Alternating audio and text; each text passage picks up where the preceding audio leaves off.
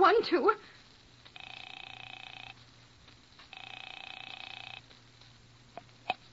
This is Scotland Yard.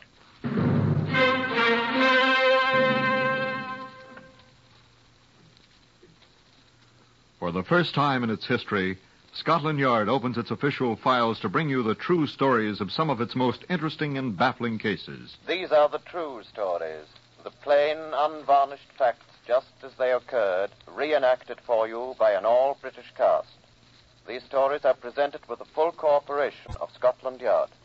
Research on Whitehall 1212 is prepared by Percy Hoskins, chief crime reporter of the London Daily Express.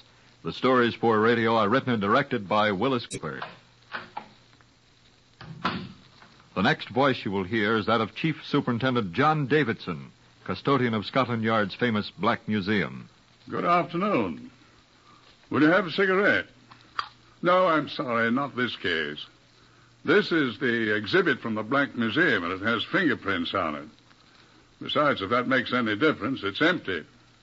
Yeah, one of these, if you don't mind. I smoke them myself. Woodbine. well, if you insist on one of your own, then this case had a great deal to do with a murder case back in the last year of the First World War, 1918. it was owned by an army officer. That's a curious mark on the outside of the case, isn't it? A scar, almost, you'd call it. Tis a scar. Bullet scar.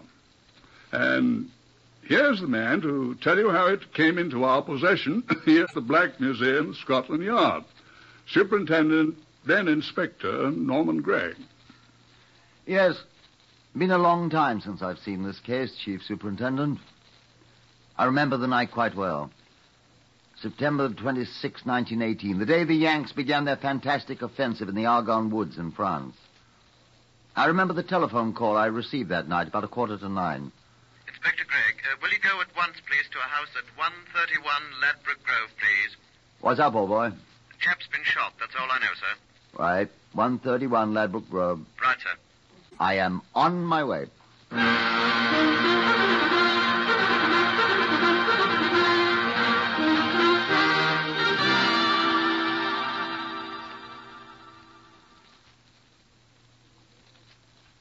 In a few minutes, thanks to one of the earliest of Scotland Yard's motor vehicles, I alighted near number 131 Ladbroke Grove, which is a fairly posh address. My knock on the door was answered by a lanky gentleman with a large black moustache, wearing a uniform with the crowns and red tabs of a staff major, and the flaming grenade badges of the Royal Fusiliers. What's up, sir? I asked, remembering to say sir. I'm Major Robert Henry, officer. My brother's been shot. I looked past him, and on the sitting room floor, another officer was lying, bleeding from what appeared to be several wounds. I looked more closely. He was gasping. My brother, Captain Dougal Henry, officer of the KRRCs. Who shot him? Uh, uh, an intruder, a burglar, a housebreaker. Where's he? Escaped, I'm afraid. Can you do anything about my brother? I've tried, but Sorry, sir. uh, Dougal, He can't hear you, sir. is he? Is he? Yes, sir. Now, sir, what happened? Dougal, old boy. What happened? There's nothing. Nothing, I- sir. I'm sorry. He's dead. What happened? He was in the library talking with Major Ward. Where's Major Ward, please? Uh, oh, he's in the library. Edmund. May I go in the library, sir? Is that it? Edmund's in there. And so he was. Oh, I say. Are you Major Ward, sir? Yes. May I have that revolver, sir? Huh? Oh, oh yes, yes, of course. I, I'm afraid I fired it. At whom, sir? At the burglar. The man who killed my brother. But I'm afraid I missed him. I, I'm not a very good shot. He didn't miss. No. No. Poor Dougal. Is he dead? He is. Oh. You didn't give me your revolver, sir. Oh, excuse me. Thank you. This your service revolver, sir? Yes, of course. One goes on leave. Of course. Webley, caliber 38. Issue. You're in the London Irish Rifles, sir. 174 Brigade. You know this gentleman? one of my dearest friends. That's right, dearest friend. He'd been at my home this evening. Oh? Before we came here. Oh? That can easily be proved, officer. I'll not require that, sir, now. Uh, well, You were on good terms with the dead man? I. of course he was. What are you implying, officer? Only that I never saw either of you gentlemen before, sir. Nor him. I'll have you understand that. May I brother- remind you, sir, that nobody has told me what happened. Well, I'll tell him, Edmund. thank you. Please. Uh, tell you quite simply, Constable. Inspector, sir. Oh, excuse me. I was sitting here looking over the overseas edition of the Daily Mail. Uh, The one our soldiers Uh, received Major in France. Ward and my brother were talking in the library while I waited. Uh, we were all going to dinner shortly. At Claridge's. Please. Yes. Uh, well, there was an infernal noise in the library, uh, scuffling, shots fired. I jumped up. Just as I came hurrying out, And told me. said a burglar just shot poor Dougal, and I think I've wounded him. Wounded whom? The burglar man. Wounded whom, Major Ward? Eh? Wounded whom? Oh, Uh, oh, the, the, the burglar, of course.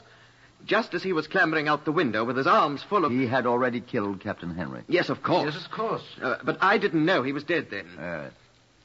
How did he get in? The burglar? Yes. I don't. I haven't the faintest idea.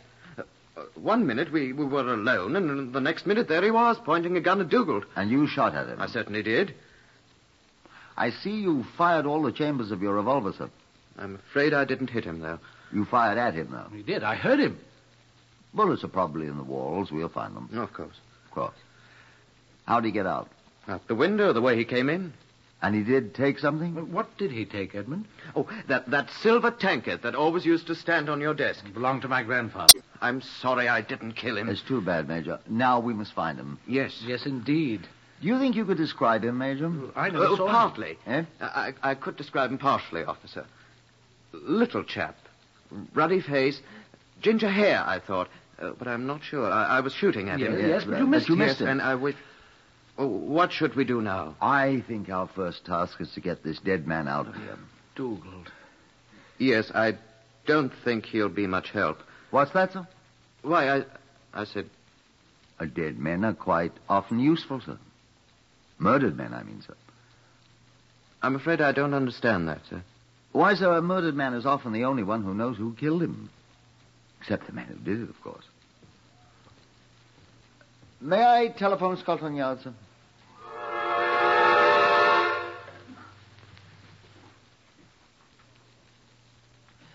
Major Robert Henry stood and watched sorrowfully as the detail I summoned from Scotland Yard loaded up his brother's body and started away to the mortuary with it.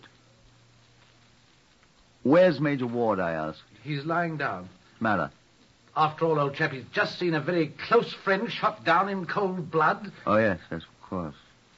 But he's a combat officer, I notice. Surely he's seen a good many other close friends of his killed. I doubt he's seen any who were closer than Dougal. Oh? They've been pals since they were kids. I'm a good deal older than Dougal. Never was much of a brother to him, you know. Ward's just his age. He was the brother, in effect. Oh, yeah? Dreadful blow to him, especially under the circumstances. Circumstances. Yes. Ward was sh- shell-shocked. Oh. Uh, Buried alive by a shell burst not two weeks ago. Yes, they didn't get him out for five hours. Totally unconscious. The dead man lying across his knees. Horrible. Unconscious, I said. Perfectly conscious the first few minutes, though. uh, Remember the worst part of it. Then to come home and see his best friend murdered before his very eyes. I'm sorry. I didn't know that, sir. Of course you didn't. How could you? You never saw him before. Did you? I remember him now. Oh. Oh, you've seen his picture. Everyone's seen it. I remembered it from the illustrated papers when he was married. To Marjorie Carswell. Marjorie Carswell about six years ago. Before the war. Uh, Dougal was groomsman at the wedding. oh? He was godfather to the first child, too. Yes. Yes, I remember now. Dougal's been stationed here in London for a year now, attached to some uh, American something or other, while Ward's been overseas. Oh, yes? Uh, as soon as he heard Ward was home on sick leave, he popped out to Carling Hill. Uh, that's where Ward lives, uh, Carling Hill. Did you say that was tonight, sir? This afternoon and tonight. Oh, yes. You said your brother returned here. He and Ward were booked for dinner at Claridge- Claridge's. I asked them to stop past for a cocktail. Yes, I remember. Uh, they were in the library talking when this burglar, or whatever he was, entered, and. Well, you know the rest. Yes. Uh, Mrs. Ward's still at Carling Hill, is it? Yes. She doesn't know anything about this. Or perhaps you telephoned her. No, I didn't. I don't believe Ward did either. Um, quite understandable if he didn't, isn't it? Oh, yes, yes, yes. I was wondering. Yes, sir? I was wondering if I hadn't better go down to this uh, mortuary place uh, where they took poor Dougal, you know. Well, sir. What? Oh, I, I shouldn't if I were you, sir. Well, look here, why not? Well, sir, the uh, the police surgeon will be examining the body now. Well, what difference does that make? You won't be able to see your brother, sir. Oh, what'll he be doing? Something unpleasant? I don't think you'd better go, sir. Oh. Well, what'll I do? Perhaps you might stop and see Major Ward, sir. Perhaps there'd be something you could do for him, or, or better still, What? I was wondering if you'd like to call Major Ward's wife, sir. Marjorie? Yes, sir. I see. Uh, oh, uh, tell her what's happened. Um, break it gently, you know. Uh, she was very fond of poor Dougal. Uh, good, good, good. Oh, but I say, uh, what'll you do? I was hoping I could see the library. Library? Isn't that where they where they were when the burglar shot your brother? Oh, yes. Uh, don't expect to find the fellow now, do you? No, sir, of course not. I want to look for bullets. What bullets? The ones Major Ward fired at the burglar. Oh. Uh, why? Why, Major Ward fired all the bullets in the cylinder of his revolver. If one or more is missing in the walls, well, perhaps he didn't miss, after all. And the fellow will be carrying one of Ward's bullets in his body. And we'll put out a call to find a man that answers the description Major Ward gave us. And who's been recently wounded by a Webley 38 bullet. That's clever, sir. Thank you, sir. It'll be simple. Uh, those slugs from a service revolver make the very deuce of a hole in a man, uh, seeing what they do to Germans. Well, I see this case is in good hands. I'm going to go telephone Marjorie. I was in that library 26 minutes by my watch. I was just concluding my examination when Major Henry entered again. Ah, there you are. Amazing. I've been trying all this time to reach Marjorie, but the telephone doesn't answer. What seems to be the trouble? Why, I expect she's asleep after all. How's Major Ward feeling? Still sleeping. Not very quietly, but sleeping. Uh, how have you been doing? Major Henry, I have just made the most extraordinary discovery.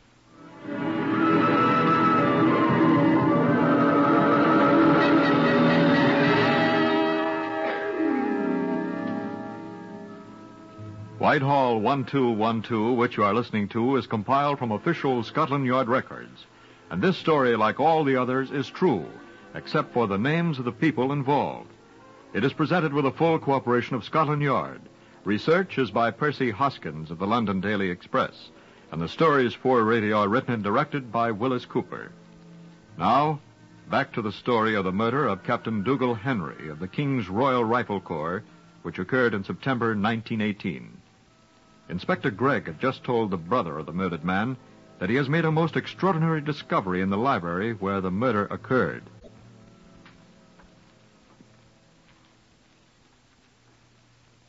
No, sir. I'm afraid I can't tell you about it now. Police secrets, aren't I right? You could call it that, sir.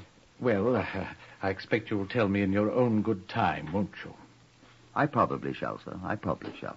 Uh, well, then. Uh, now, I think Edmund Ward had better go home. Well, sir, Uh, eh? well, there's no harm in getting him home. I should think not. Yes, sir, quite. I was wondering something. Yes, sir? I'm due at the War Office in 15 minutes. Yes, sir? If I could persuade you to drive him home, uh, you're quite through here for the moment, I fancy. You've made your extraordinary discovery. Yes, sir? Well, then, I could lend you a car. I- think we can spare enough petrol. It'd be on official business, sir. Oh, quite so. So it would, wouldn't it? Uh, You, you'll do it then, like a good chap. If I may make bold to ask you for a favor, sir. Naturally, tit for tat, old boy. If I could borrow your car to drive me to the mortuary after I take Major Ward home. And breaking the news to Marjorie. Of course, sir. Well, I think so.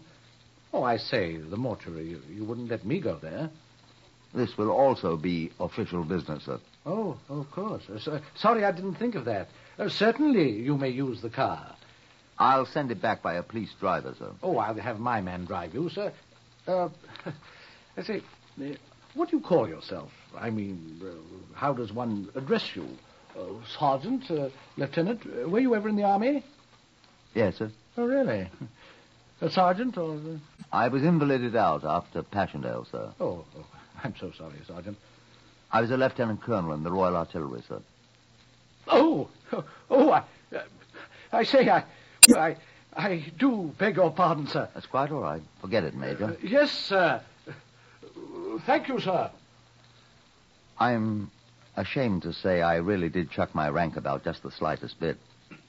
I let Major Henry stand to attention a little longer than was absolutely necessary, and uh, I let the other major, the one who had been so grievously shell shocked, ride in front with the driver.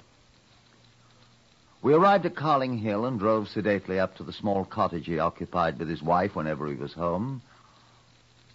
We entered. The place was dark. My wife should be somewhere about. Uh, Marjorie, dear.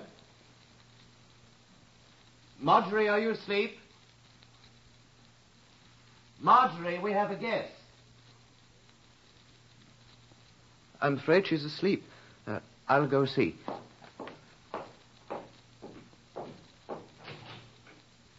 Marjorie. She's not here. She's not? She's not here, you see. Turn on the light. There's nobody here. She may be in the other room.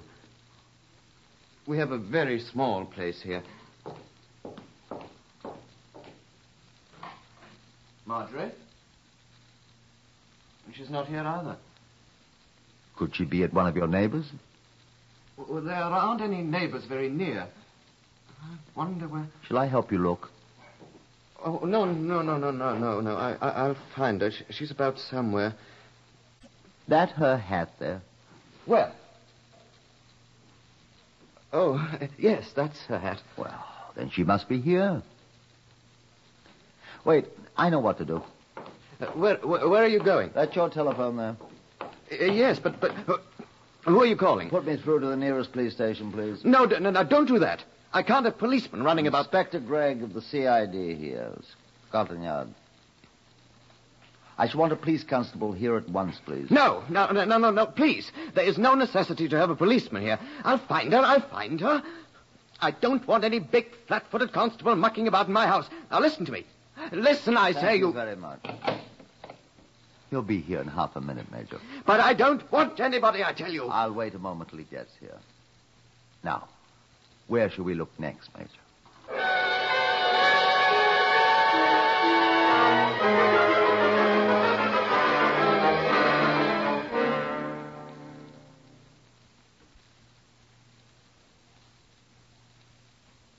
The largest, the most truculent policeman I've ever seen shortly appeared at the door, complete with manacles, lantern, and an enormous truncheon.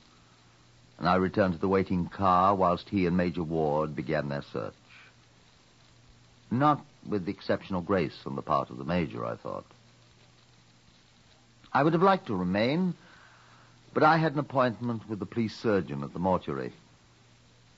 The body of the dead Captain Dougal Henry lay on a white table, now in considerable deshabille.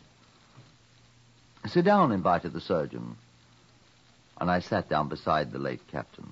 I wish I was a detective. You got a better job. You chaps have someone to talk with. That's right, we do. Too many. Who shot this one? He didn't say. If he could, he probably would. Where's he come from?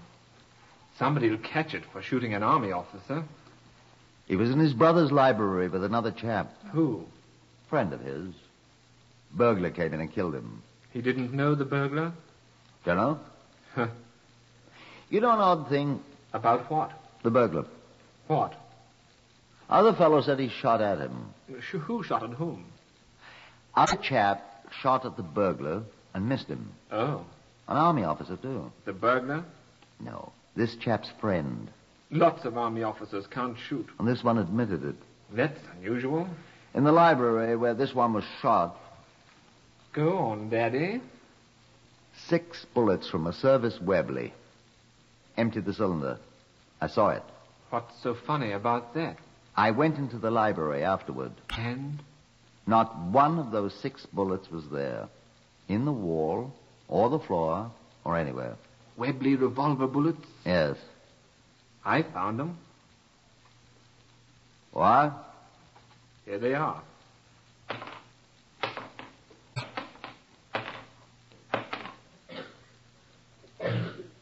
These are Webley bullets. Right? Where'd you get 'em?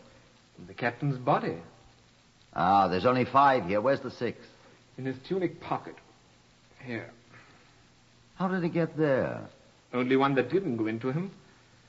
Flattened out against his cigarette case. See? Have one of the captain's cigarettes. Woodbines. No thanks. I don't mind. I like woodbines.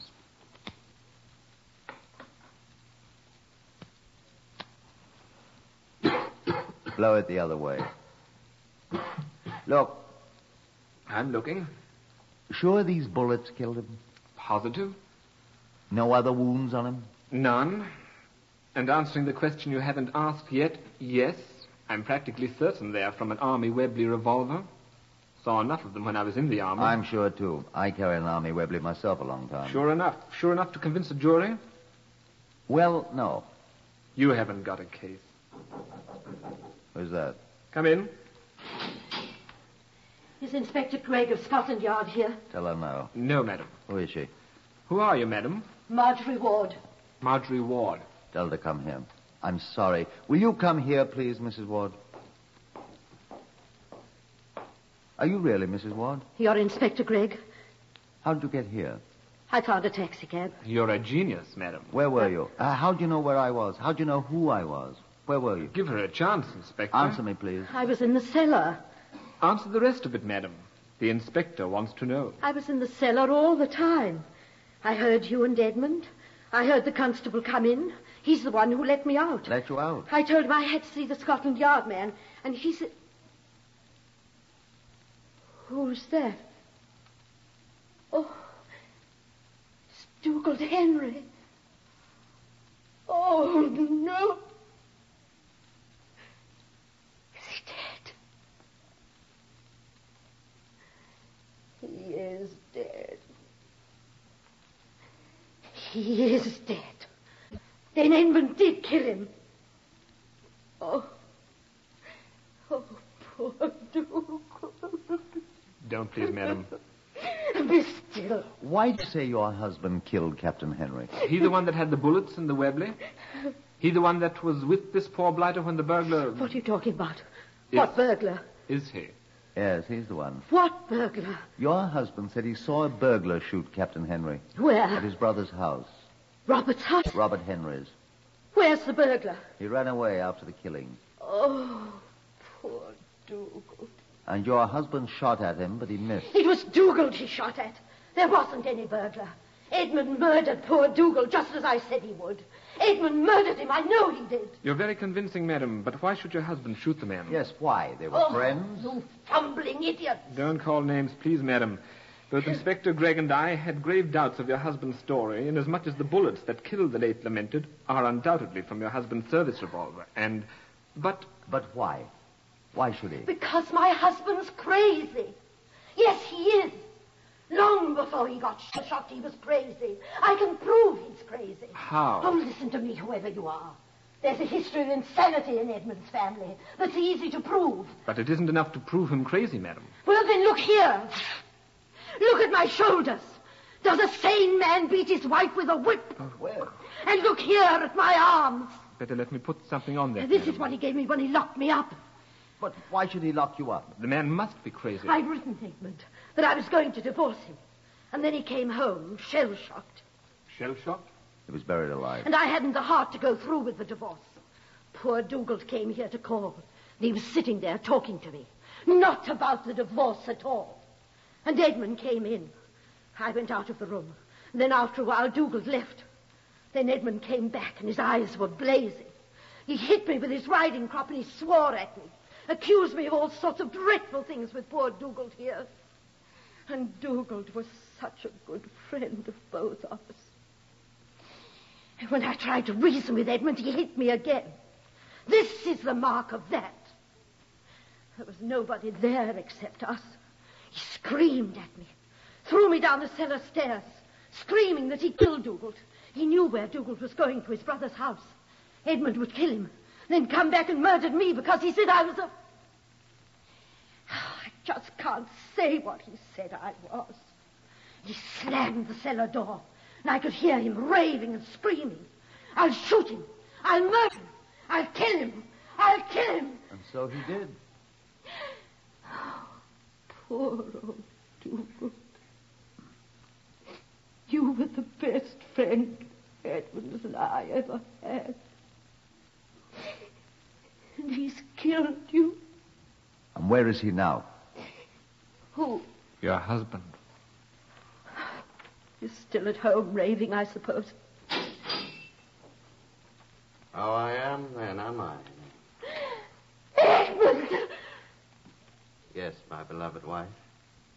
Yes, me.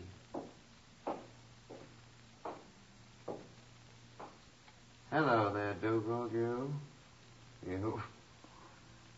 I did you in all right, old pal. And now. Oh, there you are, Marjorie. Stand up and be killed, dear. Made that silly great oaf of a constable tell me where you'd gone, and here I am. And I'm going to kill you. And you. And you. And you too, Dougal. Killed you once. I can do it again. He's got a gun. Didn't know I had another, huh? I'm an officer. I got two guns. Quite enough for everybody. You first, my dear. Well, I'm sorry. I don't seem to have any more bullets. Cartridges, I mean. Excuse me, Dougal, for not having any more cartridges Mark III. I seem to have used them all up killing you. Excuse me, sir. Is there something I can do for you? Edmund Ward, I arrest you on a charge of willful murder. Well, excuse me, sir. Sorry, dear. Beg your pardon, Dougal. Old chap. Here, here. I warn you that anything you say will be taken down in writing and may be used in evidence.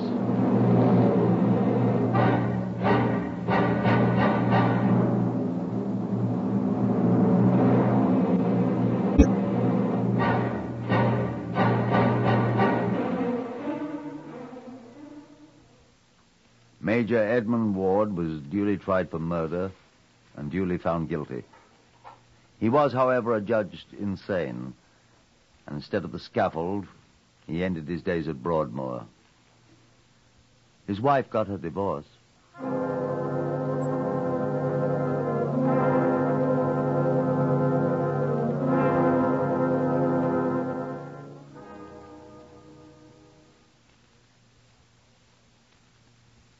Heard today on Whitehall 1212, Horace Braham as Inspector Gregg. Others in the order of their appearance Harvey Hayes, Guy Spall, Lester Fletcher, Gerard Burke, and Isabel Elsom. Lionel Rico speaking. Whitehall 1212 is written and directed by Will Cooper.